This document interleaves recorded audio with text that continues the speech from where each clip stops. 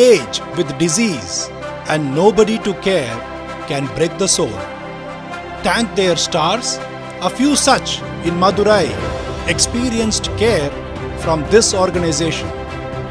Started by seven socially minded medical doctors as an expression of their love and care for the elderly, the Trust, through their Netravati Center, provide care to rescued elders with serious illness and limited life ahead. They are given shelter, medical and psychosocial care by a team of doctors and paramedics 24 by 7 free of cost.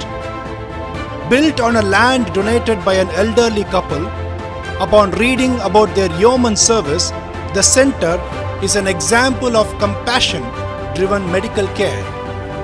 The words of an inmate echoes.